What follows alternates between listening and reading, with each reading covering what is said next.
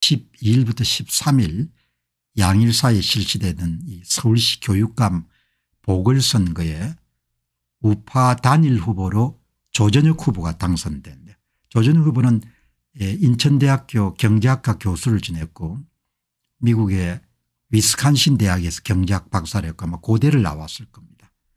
그렇게 하고 국회의원을 한번 지냈고 국회의원 지내는 동안에 정교조하고 맞붙어 가지고 개인적으로 돈을 손해를 참 많이 본 예, 그런 후보 가운데 한 사람이죠. 자, 그래서 참 다행입니다. 뭐 이 두 후보들이 좀 쓰라진 점이 있었을 건데 여기 이제 교총회장을 지낸 안양옥 후보 그다음에 고대 교수를 지냈던 홍후조 후보 예, 고대 교수를 지냈던 이 두 분들이 이제 단일화 추진위원회가 한 그런 여론조사 결과에 수긍하기로 그렇게 결정해서 예, 조전혁 후보가 이제 당선이 된 겁니다. 굉장히 대단한 일이고 이제 조전혁 후보가 이 우파 교육감 후보로 단일화되는 데는 동국대학교 교수를 지냈던 박선영 교수가 먼저 이제 포기하면서 이제 단일화 근무살이 된 거죠. 여기 보시게 되면은 이제 이 기구 탈퇴를 선언했던 안양욱 전 한국교총회장 홍후조 고려대 교수는 예, 이런 시민단체 모임인 통합대책위원회에 다시 합류해서 성자의 손을 들어주는 그런 보기 좋은 모습을 갖추었습니다. 이제 이 수락 연설에서도 조전혁 의원이 안양옥 홍후조 두 분의 예비 후보들께 존경드리고 그다음에 박선영 교수의 결단에 대해서 대단히 고맙게 생각한다 그런 이야기를 하죠. 그동안 번번이 실패를 거듭했던 중도 보수 후보 단일화가 이번에는 극정, 극적으로 성공해서 수도 서울 교육을 바꾸는 그런 어, 선거에서 기필코 이기겠다 이렇게 이제 이야기를 하지 않습니까 뭐 좋은 결과가 있기를 바랍니다. 그런데 제가 이렇게 보면은 이 조전혁 후보는 고려대 경제학과를 나오고 위스칸신 대학에서 경제학 박사를 했거든요. 대부분 이제 요즘의 경제학은 뭐 20년 전 30년 전도 마찬가지였습니다만은 수량 분석을 굉장히 중요시하는 그런 이제 경제학이거든요. 그러니까 역대 교육감 선거가 어떻게 치러져 왔는지를 조전혁 후보는 잘 알 수 있을 겁니다.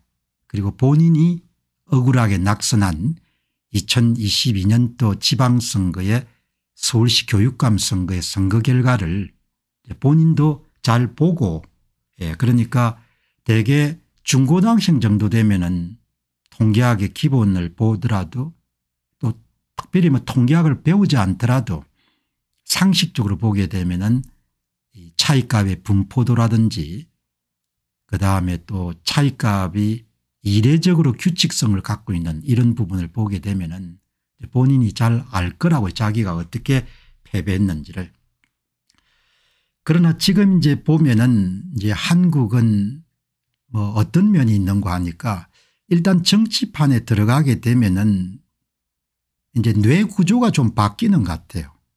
뇌 구조가 바뀌어 가지고 일체 이제 성력이라는 것이 있는데 그 성력이 선거 공정성에 대한 이견을 갖고 있거나 그런 발언을 할 때는 그 정치계에서 완전히 예, 그냥 퇴장당하거나 그냥 매장당하는 그런 분위기가 지배하고 있는 것 같아요.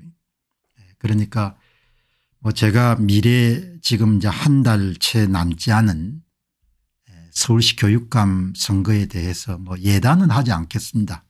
예단은 하지 않지만 제 자신이 이제 학자 출신이기 때문에 학자 출신들은 대개 문제 원인을 규명하고 현재를 진단하고 그걸 바탕에 전망을 하지 않습니까 그런 훈련을 평생 동안 받았기 때문에 여러분들이 보시는 대개 실방송도 다른 분들하고 차별화가 있을 겁니다. 진단하고 규명하고 그다음에 전망을 많이 하지 않습니까?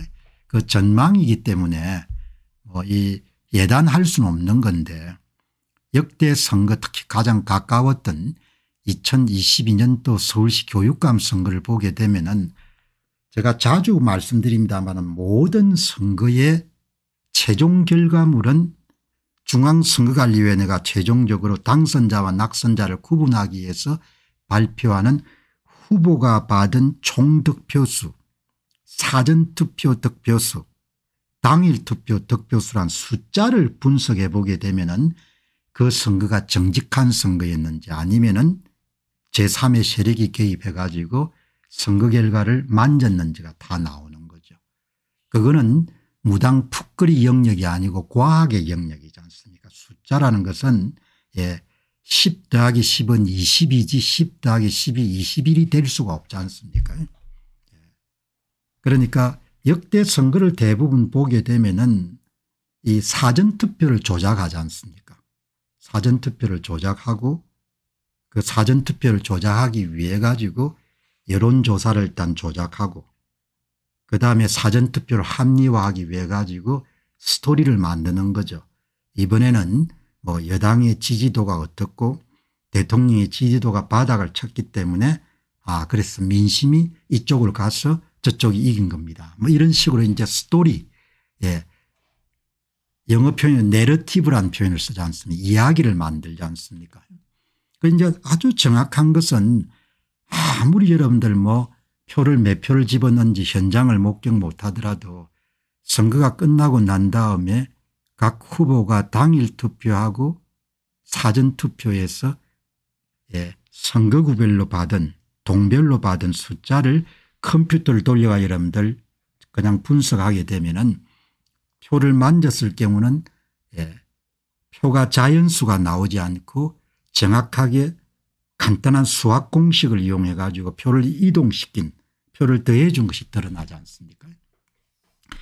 그러니까 10월 16일 날 이제 뭐 본인들이 이기겠다고 그렇게 희망을 갖고 있는 분들에게 뭐 다른 특별한 이야기를 제가 강하게는 하고 싶지 않습니다. 그러나 지금 선거에 관해서 대한민국의 지도층이나 이런 분들은 기본적으로 후기 조선 사람들이 갖고 있는 생각하고 크게 틀린 바가 없는 겁니다. 그냥 믿는 거 믿고 싶은 거 바라는 거 소망하는 거 희망하는 거 예, 그걸로 여러분들 선거를 보는 거지 과학으로 보지 않는 거죠. 아마 대한민국의 지도층들은 지금 과학은 어디 뭐 쓰레기통에 집어넣지 과학이 뭐밥 먹여주나 아마 그런 식일 겁니다. 반도체를 팔아서 밥을 먹고 사는데 과학이 무슨 뭐 예? 밥을 먹여주나 막 그렇게 생각할 겁니다. 네, 그래서 저는 예, 이기기가 굉장히 어려운 선거가 될 거다 이렇게 생각합니다. 확률적으로 어떻게 얼마만큼 어렵겠냐 억수로 어렵겠죠. 천지개벽하는 일이 생기게 되면 은 그러면 이길 수는 있겠죠. 예. 그렇게 여러분들 보시면 은 정확할 겁니다. 모든 결판은 사전투표에서 이루어지게 되니까. 예.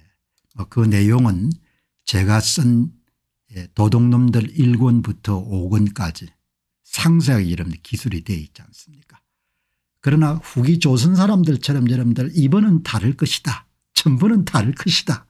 다음은 다를 것이다. 이렇게 하는 거죠. 그러니까 너무나 참담하고 비참하고 부끄러운 일인 겁니다. 그런 사람들이 다 홍승대 씨가 쓴 수학정석 1, 2를 배웠을 겁니다. 예. 수학을 왜 배웠는지 모르겠습니다. 왜 경제학 박사들 하는지 모르겠어요. 어떻든 알아서 제가 자주 말씀드립니다만 공병을 한 사람은 할 만큼 했으니까 그다음에 제가 자주 쓰는 표현이 있지 않습니까 흐르는 강물처럼 예, 그 표현이 상당히 많은 은유를 갖고 있는 겁니다. 다르게 이야기하면 나는 할 만큼 했으니까 예, 당신들한테 예, 세상이 가는 방향도 다 이야기했으니까 흐르는 강물처럼 결과가 나올 것이니까 나라도 흐르는 강물처럼 갈 거다. 그러니까 당신들이 힘을 모아 가지고 어떻게 뭐 흐르는 강물에 따라가든지 아니면 흐르는 강물을 역류하든지 해야 되지 않겠느냐. 예, 지금 이렇게 모두가 희망에 닫혀 있을 때 제가 이야기를 드리는 겁니다. 자 이제 보시게 되면은 윤 대통령하고 한 대표의 뭐 단체 식사를 한 거네요.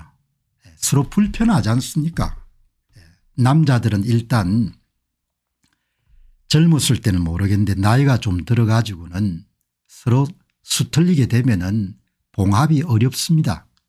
예. 불가능한 일은 세상에 없겠지만 대단히 어려운 거죠. 예. 여성들은 어떤지 모르겠는데 남자들 같은 경우는 여러분들 기본적으로 서로 틀어지게 되면은 수십 년간 동창들도 이렇게 어떤 사안 때문에 서로